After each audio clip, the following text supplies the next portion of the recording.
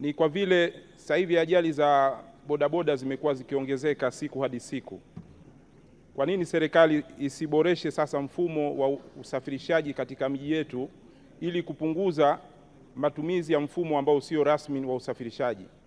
Swala la pili, nilikuwa nataka nifahamu serikali inatumia utaratibu gani sasa kuwapa leseni madereva wa bodaboda? Waziri. Mheshimiwa na, na, naibu Spika, napenda kujibu maswali ya nyongeza ya Mheshimiwa mbunge Mohamed kama ifuatavyo. Juu ya utaratibu, mapendekezo ya kuboresha mfumo wa usafiri ili kuwa na mfumo rasmi, tunachukua pendekezo lako na tutawasiliana mamlaka ya utoaji wa leseni kwa maana ya LATRA wa usafirishaji abiria waweze kulizingatia katika uboreshaji wa mfumo huo.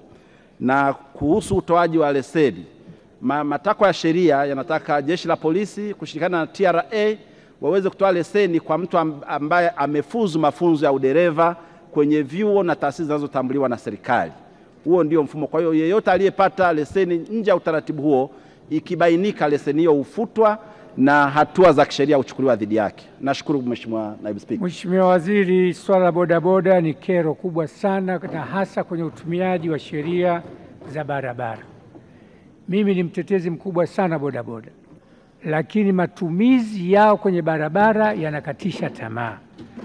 Lazima mwe na mkakati maalum wa kudhibiti ajali ambazo wanazozifanya, na lazima mwe na sheria kali za kuwadhibiti na hata kuwasimamisha, sababu Muhimbili ukenda Moi sasa hivi asilimia tisini ni vijana